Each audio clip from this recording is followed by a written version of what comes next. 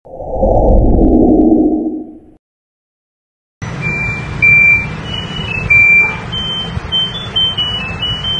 panahon ng pandemic, ah, bumaba ang sales ng laundry. Madali lang siya, madali lang siyang i-operate, madali lang siyang patakbuhin. At ah,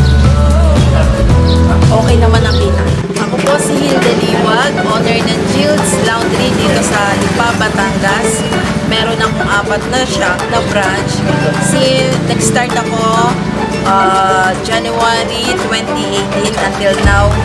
So far, so good.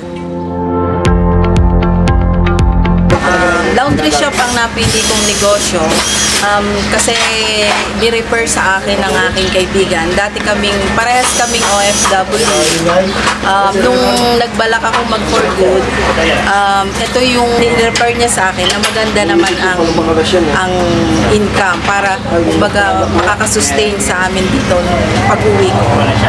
Kaya ah, laundry ang napili kong ah, negosyo.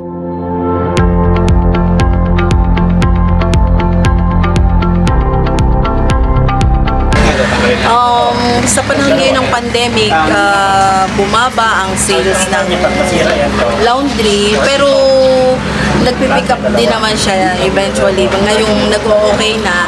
Pero during last la- last year, talagang nag-open kami ng halos three times a week lang kasi bawal lumabas. Kaya nagla-lockdown sila. Pero nakaka-survive naman kami doon.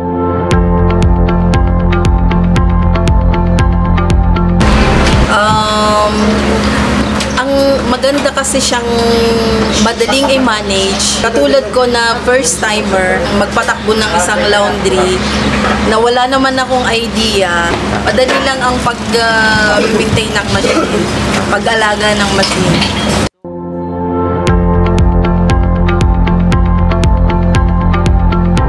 Ah, sa technical support, wala akong masasabi. Excellent. The best ang ah, wasan. Lagi ko lagi ko sinasabi sa mga kakilala ko na na, na katulad nila na nagbabalak magtayo ng laundry, mahalaga at talagang importante yung after sale. Kasi katulad ko, na walang idea at all, hindi ko alam pagka may, may error or may issue, madali lang makontak uh, at nagre-reply din kaagad. Hap- happy ako sa service at sa ah, sa after sale ng wasan.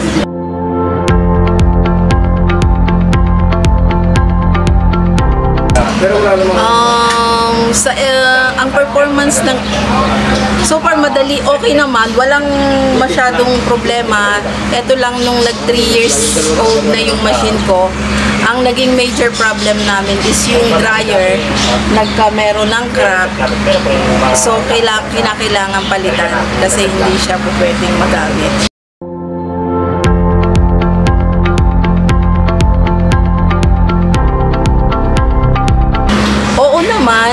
maganda ang LG at saka ah, maganda ang quality ng laba, maganda ang performance ng machine, very easy, easy to operate.